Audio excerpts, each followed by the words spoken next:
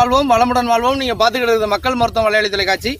இயற்கை மருத்துவம் மற்றும் மாற்று மருத்துவ நிபுணர் மருத்துவர் இளந்தமிழன் இப்ராஹிம் பேசுகிறேன் இடையே பழைய வீடியோ புதிய வீடியோ எழுதி பார்க்கணும்னா கீழே இருக்கிற பெல் பட்டன் பக்கத்தில் இருக்க சப்ஸ்கிரைப் பட்டன் ரெண்டு அழுத்துங்க. ஃபேஸ்புக் வாட்ஸ்அப்பில் மற்றவங்களுக்கு ஷேர் பண்ணுங்கள் நம்முடைய பாரம்பரிய மருத்துவத்தை கடைக்கோடி மக்களுக்கும் சேர்க்கறதுக்காக செய்யப்படுற சேனலை உங்களுடைய சப்போர்ட் எனக்கு தொடர்ச்சியாக கொடுங்க. இப்போ நம்ம பார்க்குற விஷயம் என்னன்னு பார்த்தீங்கன்னாக்கா எதிர்ப்பு சக்தி வர எந்த பாயிண்ட் அழுத்தினா அதிகமாகும் அப்படின்னு.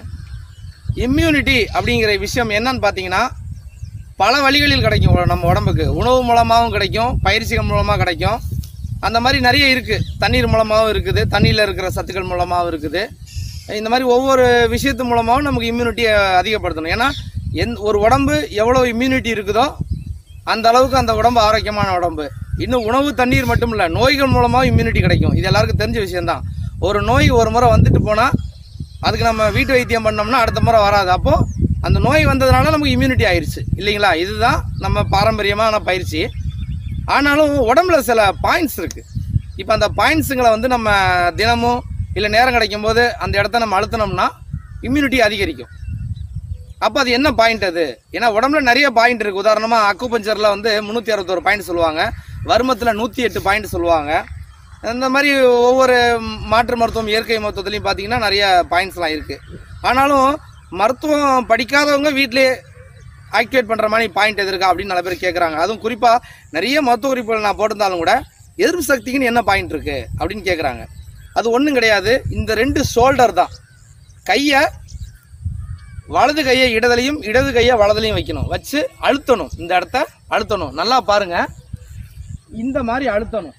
இந்த மாதிரி அழுத்தணும். இப்போ இந்த கையால் இதை அழுத்துற மாதிரி இந்த கையால் இதை அழுத்துற மாதிரி அழுத்தணும்.